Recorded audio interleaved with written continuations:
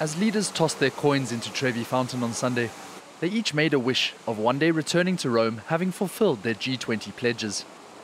On the key issue of climate change, however, several figureheads left this weekend's meetings somewhat deflated. Ahead of COP26 climate talks in Glasgow, the group committed to the Paris Agreement goal of limiting global warming to 1.5 degrees Celsius above pre industrial levels.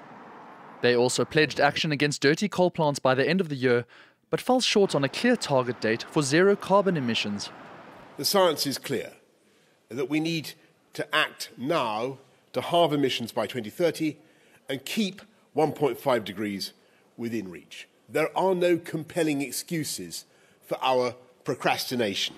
Leaders meanwhile reaffirmed a so far unmet commitment to mobilize $100 billion meant to aid developing countries in adapting to climate change. In an effort to build a more stable and fair international tax system, the G20 did manage to reach consensus on a minimum 15% tax on multinationals, supposed to come into effect by 2023.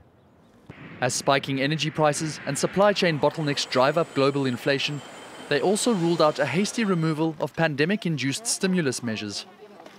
And with the world still reeling from the virus, leaders vowed to support the WHO goal of vaccinating at least 70% of the Earth's population by the middle of next year.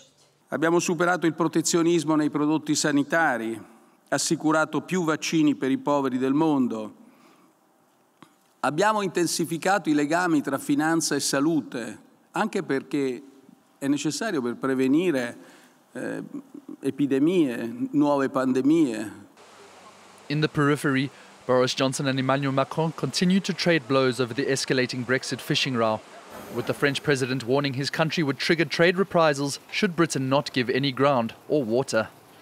Macron also had some harsh words for Australian Prime Minister Scott Morrison, who he accused of having lied to him over the cancellation of a 50 billion euro submarine building contract in September.